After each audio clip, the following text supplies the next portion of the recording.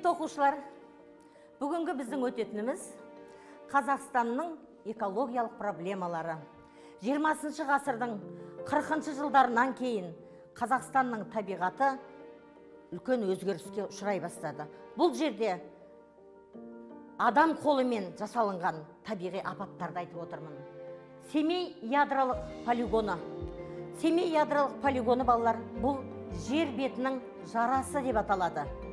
Бұл қазаққа мұң зар әкелген қырық жыл қазақ жерін ойрандаған қырық жыл қазақтың қасиетті киелі семей топырағын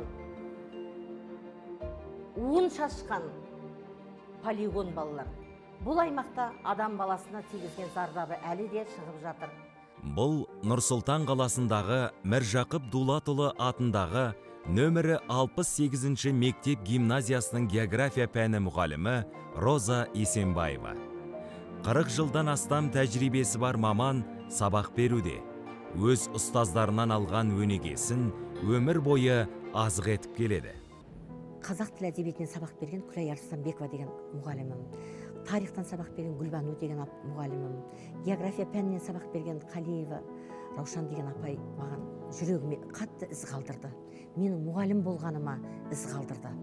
Сонда солардың әр сабағы бір ауыздарынан жай ғана сабақ емес маржан төгіліп тұрғандай мен сезінетін едім. Бізге айтады сендер жақсы оқыңдар білімді меңгеріңдер мәдениетті меңгеріңдер жақсы азаматтар болыңдар.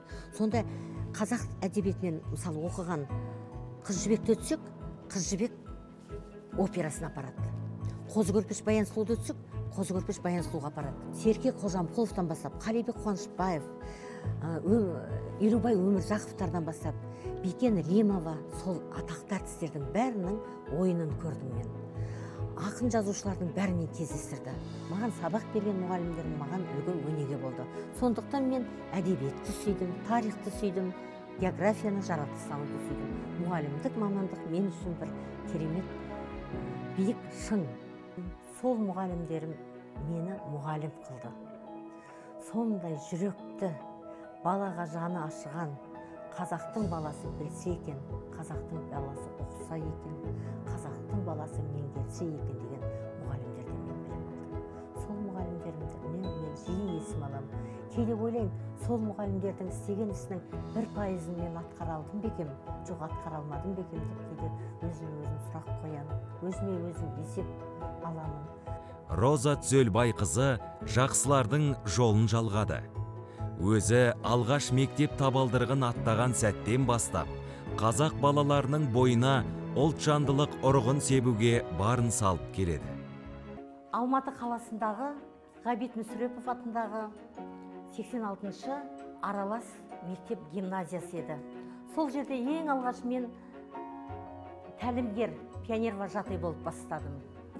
Жаңа вожатый болып жұмыс жасаған кезімде орыс класстары мен қазақ класстарының арасында бір бірімен осы бір ә, жарыс болады.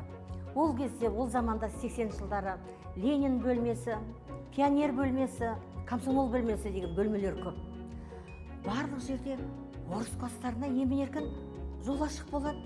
Ал біз қазақ класстарына бір кішігірім бөлмені береді. Әлі ұмытпаймын сол мектептің директоры аралас мектеп болат сағындықович деген ағайымыз болды. Сонда ол кісі маған бір әкем сияқты қамқорлық көрсетіп сен жақсы мұғалім болады екенсің қалқам. Сен мына қазақ класстарын көтер. Сенің өзі бір осы балалардан бір төрт бес жасқа ғана үлкен екенсің. Бәрі сенің достарың сияқты қабылдайды деп сенім білдіргені әлі есімде. Ә, күз кезінде қазан айында ол кезде октябрь дейміз. Ә, күзгі бал осенний бал өтеді. Бүкіл мектеп дайындалады. Сол жерде мен оныншы тоғызыншы класстың оқушыларымен күзгі балға дайындалдым. Роза апай біз қалайда жеңуіміз керек? Қазақ классының мықты екенін көрсетуіміз керек деп балалардың маған айтқан сөздері. Одан арман қуанып шаттанам. Әй менің қолымнан келеді екен бұл іс деп сөйтіп барып жаңағы оқушылармен күзгі балға дайындалып армандастар деген әнге әдемілеп би қойдық. Енді музыкант керек. Қолымызды шапалақтап армандастар биіне дайындалғанмен музыкант керек. Музыкант ағайымыздың басқа класстардан орыс сыныптарынан қолы тие бермейді. Сол, сол кезде орыс классында оқитын қазақ балалары оныншы класстың ұлдары жігіт болып қалған менің жаныма келеді. Бізге қарай бауыр басып апай менің әкем жақсы баян тартады музыкант. Мен әкемді шақырып сіздерге қазақ классына көмек берейінші деп сәкен деген оқушы орыс классының оқушысы көмекке келді. Содан әкесі келіп бізге өз баянымен армандастар әнін тартып беріп біз биімізді қойып бірінші орынды алдық. Әй қазақтың балалары жарадыңдар ау ойпырмай мына жап жас мұғалім жаңадан келген пионер вожатый тәлімгердің қолынан келіп тұр ғой бұл деген жеңісті біз басымыздан өткіздік. Сол кез әлі күнге көз алдымда. Сонда астананың ортасында отырып жалғыз екі ақ қана қазақ мектеп 12 қазақ орта мектебі алматыда екіншісі жаңағы аралас мектеп. Осы мектепті бірінші қазақ балаларының қуанышын көрдім. Сол кезде мен балаларды қазақты құрметтеуге ұлтын сүюге тілін құрметтеуге мен үлес қосады екенмін деп менің жап жас мұғаліммін 22 жасымда кеудемді қуаныш кернеді. Енді үлкен жиын болып сол жерде грамотамен мақтау қағазымен біз марапатталдық. Сол кезде мен көзімнен жас шықты. Кішкентай жеңіс үлкен рух берді. Содан бастап ұлттық танымды тәрбие темірқазық етіп таңдады. Алдына келген қара көздерге өз өскен өлкесі туған жері туралы білім беруде оқулық қанша қол байлау болса да әуелгі ұстаздық ұстанымынан айнымаған. Кеңес одағы кезінде біз ә, орыс педагогтарының орыс басылымдарының аударылымымен оқыдық. Сонда қазақстан географиясы бір ақ сағат беріледі. 68 сағаттың 67 сағатын біз ресей жерінің ой шұқырын тау тасын табиғатын оқыттық балаларға. Сонда ой шіркін ай ойыма келеді. Неге қазақстанды жеке оқытпасқа болмайды екен ау деп жас кезімде сөйтіп ойлайтынмын. Сонда қазақстан және орта азия мемлекеттері деп өзбекстан қырғызстан тәжікстан түркменстанмен бірге бір ақ сағатта оқимыз біз. Тәуелсіздік алғаннан кейін бізде қазақстанның географиясы екі сағатқа шықты экономикалық география. Міне сол кезде қуана қуана оқыттық. Сол кезде бір шабытқа еніп сабақты беріп мынау сенің елің мынау сенің жерің табиғатың деп шабыттанып оқытатын мез кезіміз болды. Өз мұғалімдерімнен алған үлгімді қазір мен соны қырық жыл пайдаланып келе жатырмын. Себебі мен құры, құрғақ сабақ бермеймін. Құрғақ сабақ беріп кетіп кітапты оқып беріп қайтып кету менің маған менің табиғатыма сай емес. Мен мысалы ә, географиядан ә, сарыарқа даласын өтсем мен міндетті түрде сарыарқа күйін тыңдатамын. Сарыарқа туралы өлеңді оқытамын.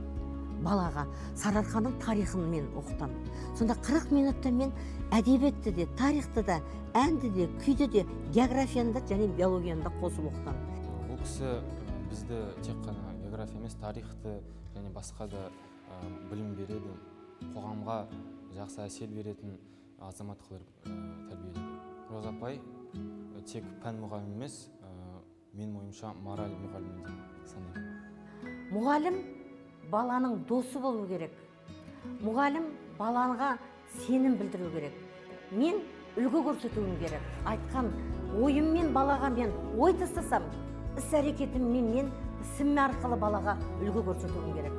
Сондықтан әр бала менің жақыным әр бала менің досым әр баланы мен өзіндік ерекшелікте мен жақсы көремін.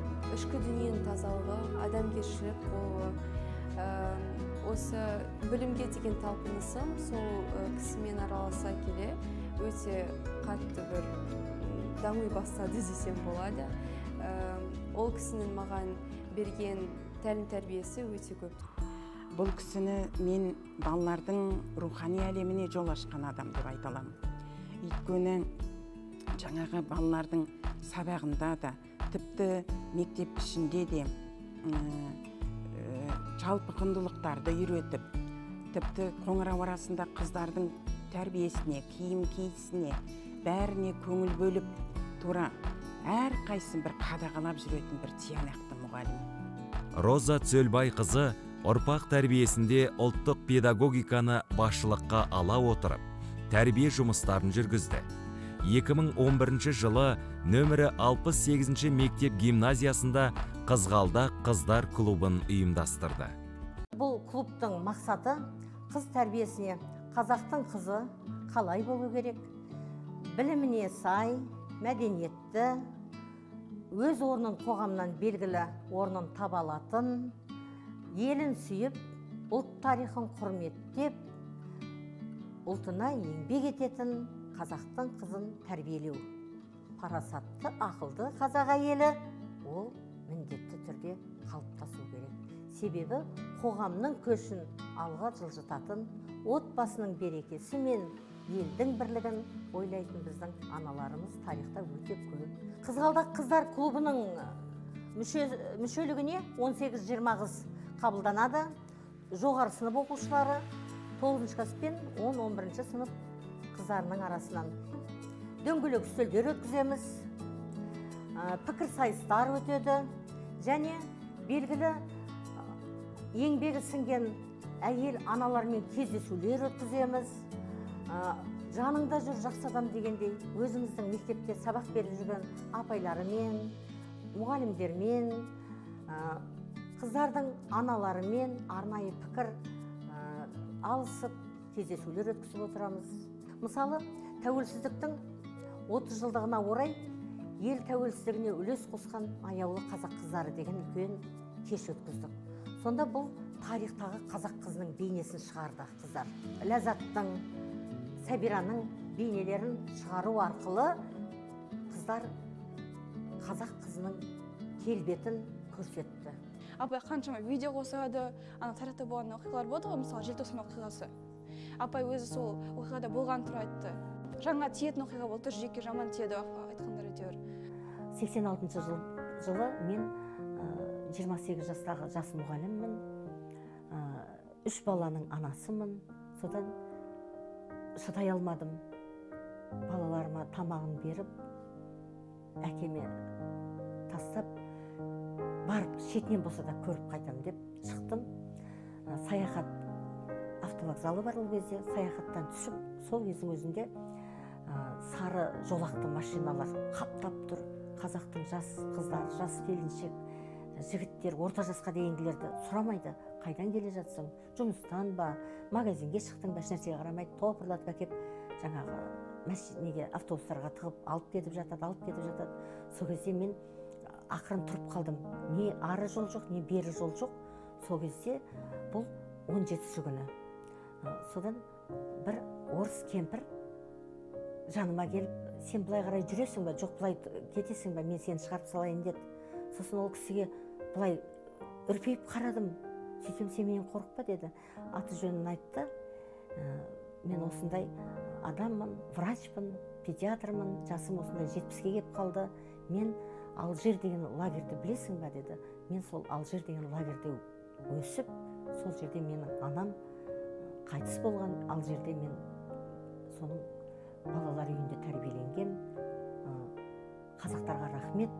Мені бағып қағып осындай әлетке жеттім.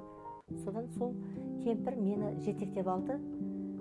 Екеуміз қолтықтасып парктен ары қарай өтіп агу бұрынғы қазіргі алму деп аталады. Студенттердің толқынын көрдім жас жігіттердің жас қыздардың. Сөйтіп алтын күн аспаны деп әндеткенін естідім.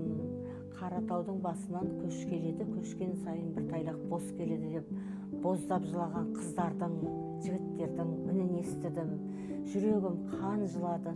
Сөйтіп оларға ілесіп кете алмадым.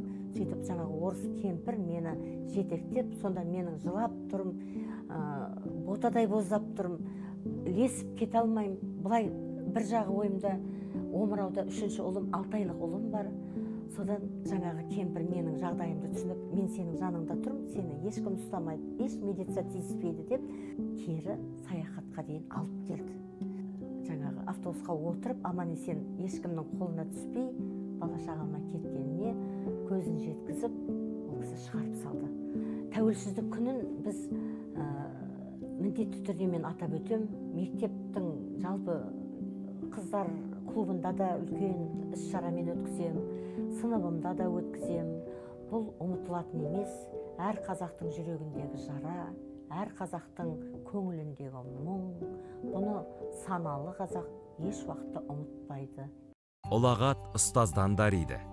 Адамзат жанына білім дәнін сеуіп әр шәкіртін аялап келе жатқан роза есенбаева қырық жылда өмір атты шексіз ғаламға мыңдаған шәкірт тәрбиелеп өсірді.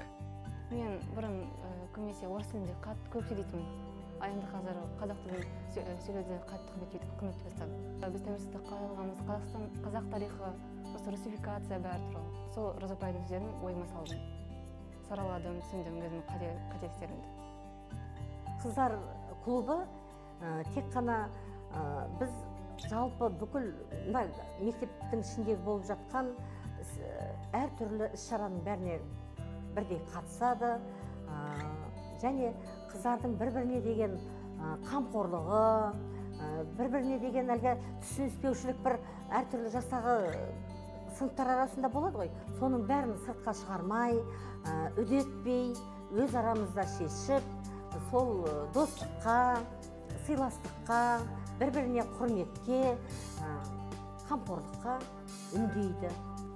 Белгілі бір тақырыпты талқылаймыз сырласамыз. Мен осы жер арқылы көптеген достар таптым өзіме сенімді. мен осы клуб арқылы өзім кішкене ә, ашылдым. Өйткені ә, үлкен аудитория алдында сөйлеуді үйрендім. Сөйлеу тәртібі ә, дикция бәрін дұрыс аттым роза түзелбайқызының педагогикалық бағдарламасы қыз балалардың тәрбиесімен түгесілмейді. Бұдан бөлек әжелер мектебін ашыпты. Оның құрамына аталмыш білім ордасындағы 12 тәжірибелі мұғалім кіреді. Бауыржан момышұлының сөзі бар ғой. Мен үш нәрседен қорқам деген екен. Бірінші ә, бесік жырын айтатын келіндердің азайып бара жатқанынан немересіне ертегі тыңдата алмай жүрген әжелердің көбейіп бара жатқанын және дәстүрді сақтамай түсінбей жүрген балалардың тәрбиесінен қорқам деген екен. Ал біз осындай ұлы даналардың сөздерін өзімізге тиек ете отырып осы мақсатпен де осы әжелер мектебін құруды жөн көрдік. Роза түзелбайқызы басқарды біздің әжелер мектебін. Сол кісі балаларды жас ерекшеліктеріне қарай ә, кішкентайларды бүлдіршіндерді ерекше бөліп ә, бүгінгі құндылықтың құндысын біле берсін бүлдіршін деп бөлек айдармен басқарды. Ортаңғы буын жас ұландарды құндылықтың құндысын біле, ұға білсін жас ұлан деп жас ұландармен жұмыс жасады бөлек. Ең үлкен класстар жоғары класстар жас қырандар оларды құндылықтың құндысын бағаласын жас қыран деп ор- жоғары класстармен жұмыс жасады. Наурыз мерекесінде мысалы әжелер шашу шашамыз. Наурыз мерекесінде әжелердің жырын тыңдатамыз балаларға. Өзіміздің оқушыларымыз өз мектебінде сабақ беріп жүрген мұғалім әжелерінің наурыз думанын тамашалайды. Бұл әжелер клубына мектебіне біздер де кірдік. Мұғалімдердің үлкен жастағылар және ә, ата аналар комитетінен ата аналар да қатысты. Үлкен мектеп болды өте керемет жұмыстар жасалды. Ә, жырын тыңдап әжемнің сырын ұғам әлемнің деген ә, жоба жасалды кітапханада. Роза түзелбайқызы сол кітапханаға барып айына бір рет екі аптада бір рет оқушыларды қасына жинап шақырып сол кішкентай бүлдіршінмен бастауыш балаларымен ә, ертегілер оқып әңгімелерін айтатын. Өте қызықты көп шара өтті. Ә, кейбір әжелерді жиналысқа шақырамыз ғой. Мамаң келмесе анаң жұмыста болса әжең келсін деп. Сол жерде орысша тәрбиеленіп орысша білім алған әжелер а біз құдай ау қазақтың баласының әжесі екенбіз ғой. Бізге мына қазақилық жетіспей тұр екен ғой. Мына мектептің мұғалімдерінің бойындағы қазақилықты біз өзімізге сіңірейік деген әжелер болды. Оны да жасыруға болмайды. Менің өзімнің замандастарым алпыс жастан асқан алпысқа келіп қалған орысша оқып орысша білім алған әжелер болды. Енді соның барлығына біз әсер еттік.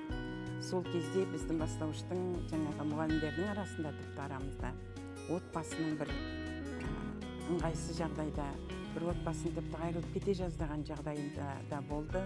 Сол кезде біз ақылымызды айтып әжелер көмектесіп олай болмайды сізге жолдас табылғанмен балаларға әке табылмайды деген сияқты сондай бір отбасыларын сақтап қалған күндеріміз де болды. Жас мұғалімдердің өзі анау әжелердің әңгімесін естігенде қатарлас әріптестері бірақ әжелер. Олардың әңгімесін естігенде ол әріптестерімізге де сондай бір қызықты болды. Сіздер сияқты әдемі әже болғымыз келеді. Роза апай сіз сияқты әдемі қартайғым келеді дейді кейбір мұғалімдер. Қарты бар үйдің қазынасы бар дейді. Бұл өте қажет. Ә, бүгінгі біздің тәрбиемізді көріп отырған бізден кейінгі келе жатқан жас мұғалімдер ертеңгі біздің орнымызды басатын әжелер. Сондықтан бұл бірін бірі толықтырып отыратын үзілмейтін қазақтың қанындағы қазақ қазақ болып жаралғалы біздің бір ұлттық дүниеміз оқуға құштар мектеп деген бағдарлама аясында аптасына мен үш рет төрт рет бастауыш сынып оқушыларына ертегі оқимын. Осы кітапханада отыратын орнымыз бар балалар кезекпен келеді. Бұл менің мақсатым баланы жасынан кітап оқуға ертегі оқыта отырып ә, рухани дүниеге қарай бет бұруға баланың бойына жасынан кітап оқуға деген құмарлығын арттыру. Ал енді балалар бүгін сіздерге әжемнің ертегілері жинағынан әдемі ертегі оқимыз. Дайынбыз ба? Дайын. Сонымен тапқыр бала бүгінгі оқитын ертегіміз. Бір жесір әйелдің бір ұл бір қызы болыпты үшеуі өте жұпыны өмір сүріпті. Ешқашан тоя тамақ жемепті. Жыртық шоқпықтан басқа киімі болмапты. Күндердің бір күні ұлы анасынан анашым бақыт деген не? деп сұрайды. Ей ұлым ай адамның тамағы тоқ киімі бүтін болса уайым қайғысы болмаса сол бақыт шығар 41 жыл педагогикалық еңбегімде сабақ беруде де балаларды тәрбиелеуде де менің алдыма қойған темір қазығым халықтық педагогика. Мен осы саламен айналыстым. Енді жаныма жылуды да осыдан аламын жүрегіме тыныштықты да осы ә, жұмысымнан аламын. Маған мектептің әр баласы менің жақыным әр мұғалім менің досым әр жас мұғалімдер жас әріптестерге мен қашанда көмегімді аямаймын еңбек өте зор ұлағатты ұстаз деуге болады ә, туа біткен ұстаз деуге болады. Мұғалім мамандық. Ұстаз ол мамандық емес. Ұстазға ұстаз деген құрметті атты көпшілік береді. Шәкірті менің ұстазым деп сүйсінеді. Біздің баламыздың ұстазы деп ата ана сүйсінеді. Біздің ұстазымыз деп айналаңдағы мұғалімдер атайды. Ұстаз деген салмақты оның шеті жоқ ол сөздің. Белгілі бір шеңберде қалып қойған емес. Ол көп жақты көп қырлы көп сырлы ұғым деп мен айтар едім. Ұстаздыққа жету әр мұғалімнің арманы болу керек. Қазір мен жас мұғалімдермен кездесем көп кездесем сонда айтамын айтамын роза апай сіз 41 жыл жұмыс істедіңіз ба? Шаршамадыңыз ба дейді. Мен айтамын жоқ мен шаршамадым. Мен әлі жұмыс істеймін. Мен таңертең мектепке күліп кіремін күліп шығамын роза есенбаеваның зейнетке шыққанына алты жылдан асып барады. Бірақ мектеппен байланысы үзілген жоқ. Өзі іргетасын қалаған қыздар клубы әжелер мектебі сынды ұлттық педагогикалық жұмысы иығынан түспей келеді.